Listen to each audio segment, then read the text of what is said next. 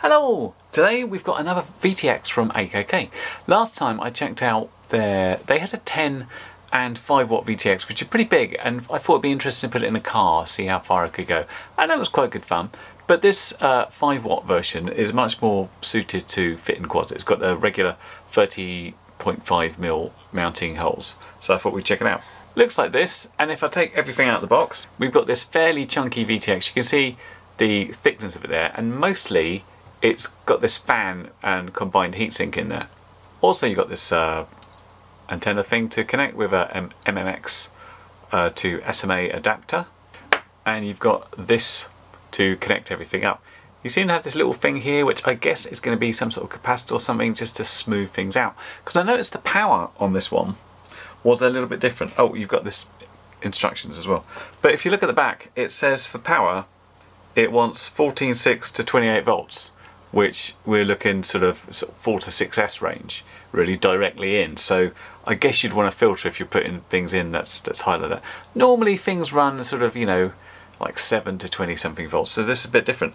We'll take it for a quick close-up and then I'll get it installed in a quad and we'll do a little bit of longish range for a flight test. Okay so here's the unit out of the box and kind of with the connectors on. There's only a connector, there's no solder points, but they're nicely labelled about what you've got. And you can see they're the 14.6 to 28 volts requirement. Uses smart audio and it does have a 5 volt out for the camera. I was just having a quick look at the instructions, which give the bands, and also there's indications of what you're doing with LEDs. And pretty much I think everybody would be using smart audio, but if not, it's kind of hard to capture on camera. You've got eight LEDs there, which show you the channel, and then four LEDs there that give you the band, and three LEDs there that tell you the power. So the eight are red LEDs, the little four there are blue LEDs, and the three at the end are green LEDs. And it's got a reasonable wide range of power. It goes up to 5 watts, but it starts at 25, goes to 200, 500, 1 watt, 3 watt, 5 watts, which is not bad. One thing I instantly thought of is this is this is quite a chunky boy. This is going to need serious headroom in a quad or somewhere behind to install it. So thinking about what to install, I instantly thought like 7 inch because that's that's sort of anything to do with range. I, I want a big quad. So thanks to the beauty of editing, we will get this installed in a quad now. And here it is, and it is a tight fit. You can see the clearance we got there. It is practically on the flight controller and just about clears the, the uh, top. I've actually changed my routing here for my GPS to go around the top rather than through there and I've got no room to pass wires through. The only weird thing I had to do here is, you can't really see it, but I've got a ground and voltage wire coming directly onto the battery input because I didn't have anything that would pass out of VCC. I had something that did 10 volts, of course that wasn't enough, so I had to go directly to the battery input to do it. So yeah, I'm just going to get the, the smart audio table set up and check it works and we will take it out for a fly, see how it performs. Did have some weirdness with the smart audio table. If you look at this chart, this is the suggested range of frequencies and channels you have. The problem with, with this, it has 96 channels that can go from 4900 to 6060 megahertz, which is way outside the normal bands of normality. And if we look at this against the regular chart, you will notice that the normal band A, B, E, F, R just do not line up at all. And when I talked to AKK about this, what they mentioned is they needed to reorder everything to try and fit the range of frequencies in there, which is fine, except if you're going to put things, for example, in raceband and stuff, then when you turn raceband on your receivers and you say go to R1, then it goes to a very specific frequency which isn't the same as this. Uh, there, was, there was more to it, in fact. In fact, you can only have eight groups of data on Betaflight, so you couldn't put those all in. Uh, so, this was the suggestion with Custom U um, having a load of blanks, and, and that's because Betaflight won't accept frequencies above uh, 6000 megahertz. So, you'd need to do those manually. Obviously, this didn't really fit in with what I was doing in my goggles, so I filled in the normal frequencies for the Boscam ABE, the Fat Shark, the Race Band. I would suggest that most people would fly that and then they might put some custom frequencies in the other bit as long as they've got the the receiver that will do the same thing on the other side, either their goggles or their screen or whatever. Anyway, finally got that set up and ready to go. Hello, once again from the world's windiest field, where it's gusting like 20 miles an hour somehow. And uh, my, my first little quad I flew, which is just a little 4 inch, did not cope that well. We're after a 7 inch this time, and we are testing out the AKK 5 watt VTX. We're going to start slow, we're going to start at 25, see how it does, and then whack up the power and see if we can get some distance A little worried about getting some distance because it is really, really windy. The wind's coming this way, so I can go out there, which is towards my normal spot towards the sea. But we, we won't go too far on days like today because it's really unpredictable about how gusty it gets and how the quad shakes around and stuff. So a little bit worried about that, but we'll give it a go. Okay, so here we are in 25 milliwatts. 25 milliwatts is not generally something I'd use, and I'd suggest that most people would use it only if they're racing or they really, really want to stick to the rules. I just want to make sure you can go a couple of hundred meters really on 25 milliwatts and the display looks okay. Picture wise, it's okay. I'm noticing a few sort of diagonal lines on the display. It, it, again, it doesn't show up that much in the DVR, and YouTube might flan it even more, but it was definitely there. You'll also notice I've got this RSSI DBM warning for some reason. I can't figure out why. But um, what I figure is I've done the 25 milliwatt test as much as I want to, so I'm going to land, crank the power up, and see if we can get rid of this warning. Okay, so we're going to put the power up to 200, which generally for me is how I would fly. This is, this is good for you know a good kilometre and go around generally and not have to think about things. I found the alarm for the uh, DBM RSSI here as well obviously something I'd never set up. Uh, so I just sort that out to say minus 95, which would be you're getting into sort of dodgy signal there. There is something a bit weird when you change strength. At the moment, it's at 25 milliwatts, and then when I arm it, it goes to 200. And you'll see you get a second of uh, just static as it's changing over, which I wasn't expecting. And I was like, oh, what's gone wrong? And then it was okay again. So that's just something to be wary of. Right, so we're up to 200 milliwatts of power.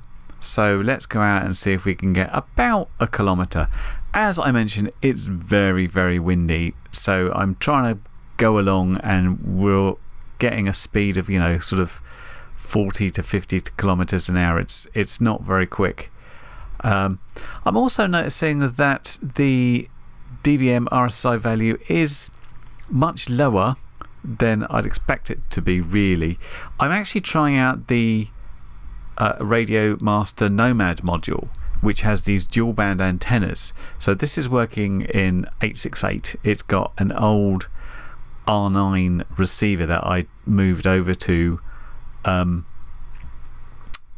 ExpressLRS, and I'm just seeing that like the the link quality is a bit dodgy, and the as I said, the DBM value is much higher than I expected. It's on dynamic power, or should be, but I haven't actually got it showing on the screen. So I'm thinking to myself, well, this is a bit weird. It's, it's really going a little bit low there, but you know, I'm only wanting to do a kilometre here and I'll sort it out. You see the LQ just fall over there. And I'm thinking to myself, that, that, that must be this Nomad module. Maybe these dual band antennas aren't very good. But the, the general performance of this at 200 milliwatts is absolutely fine. As you can see, we've just done over a kilometre and it's much easier going back with the wind behind us, doing well over 100 kilometres an hour. And we'll get back in absolutely no time at all. Again, at this uh, 200 milliwatts, still got this diagonal lining a little bit, which is kind of annoying. It's not too bad, it's just not as clean as I'd really, really like it to be. Um, but aside from that, it's, it's holding up well. We get the odd speckle going behind a tree and stuff, but everything is looking fairly good. So we're nearly at the end of this battery. So what I'm going to do is land it and whack the power up much higher. Okay, so we thought we'd go for it and we whacked it up to 5 watts. Again, taking those few seconds when we actually changed the power from 25 to 5 watts. So let's get going and we'll see if we can go a little bit further this time. Obviously, you don't want to look at a field as I'm flying quite slowly out there for the next few minutes. So let's speed this up uh, until we get you know, out towards a kilometre. again, I was a little bit worried about my RSSI value on DBM because I'd expect this to be sort of, you know, lower than 90 generally, as uh, we should be doing okay. Obviously, video wise, is absolutely fine as we'd expect. So I'm going to go off over the sea now, trying to keep to about 100 meters ish, no higher, no lower. Although I'm having trouble keeping that height, I'm either dropping down to 90 or starting to rise above 100. So we're being careful there. But this, uh, this RSSI value keeps going out. It's like minus 94, minus 95, and when we start getting up towards the 100, that's, that's dodgy. And obviously, I have to do a turn, and I'm a bit concerned about the RSSI dropping in the turn there. And you see, we're up to minus 97 now, so I'm figuring, eek, minus 98. I'll do the turn, I'll get back. And uh, it, I'm thinking to myself, it must be the Nomad. These uh, antennas aren't very good. So I thought until I actually used my uh, Walksnail quad uh, just after I landed this one.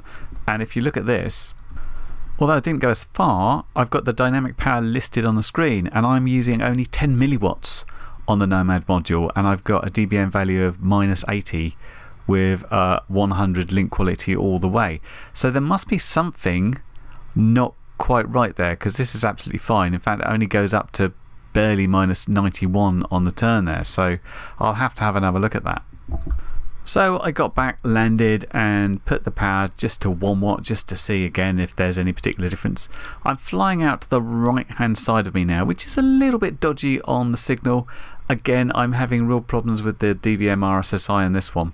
But I just found this field where there were a whole bunch of crows, and I, I thought I'd do the farmer a, a favour and sort of scare them off a little bit so they don't eat all this stuff, which is when I dipped down a little bit low and just got in front of some trees. And obviously, doing that will, will do, your, uh, do your picture in a little bit there. And the uh, DBM RSSI still wasn't happy with me, but just generally flying around. Uh, having a good time. I have absolutely no problems with this. As I said, the only issue I'm having is that the diagonal lines I tend to get uh, from this, which are really difficult to see in this, but they are there. It's nitpicky, but it's just not as clean as I'd like it to be. Now, before we go into final thoughts, one thing I didn't mention is the use of these antennas. These are the tube antennas by AKK. There are two of them. This one is the 5.81 and it works in frequency ranges of 5500 to 6060 uh, megahertz. If you wanted to go in the 4900 to 5500 megahertz, you want the 5 megahertz tube antenna, which is a different color, so you could see. Quite why you'd want to go in those ranges is another question. I should point out here that just because somebody makes something that will go into these frequency ranges doesn't necessarily mean that it's legal to do so in your area. So always double check is the frequency legal, is the power legal, because in many places it won't be, in some places it will be. So I thought this showed a lot of promise. I was a little bit disappointed to have to turn around because my RSSI in the receiver was bad. Nothing uh, crazy about the mounting, it's just mounted on the arm there like normal. Uh, just a bit weird. So I'm going to have another look at that and take it out for a, a better fly because I want to go further out just, just for fun to see how it goes. So I think we've been to about two and a half kilometres on a, quad like this before, just out to sea and then back again, and it's no, it's no real biggie. So I just need to double check what was happening there with the Nomad and perhaps get some, see if I could check the dynamic power or just whack the power up statically uh, and see if that solves the issue. Or perhaps it's a case to mount that posh um, dual band receiver I've got or something like that. So I'll, I'll go back and fly this again because I want to get more out of this. In terms of what I thought of the uh, VTX in general, it's uh, sort of unnecessarily powerful. So it's like if you don't need that much power, then it's a little bit worthless. If you want to fly far, far, far away, again, check your legislation and legal requirements, then it's, uh, it's pretty good for that. I said, little nitpicks, just saw some diagonal noise on the screen there. I don't know if that's because we're going straight off a battery and it introduces a little bit of uh, electrical noise. Uh, but overall, the, I thought the, the image was quite clear and uh, looked pretty good. So until next time, when I fly this again, You'll be able to find a link to the VTX down in the comments and many thanks to AKK for providing it. And I will catch you in the next video. Bye for now. Well, you've made it to the end of the video, so thanks once again for watching. If you like what you saw, then please consider subscribing, and if you really like what you saw, then be sure to check out the link to my blog for a variety of ways in which you can help support this channel.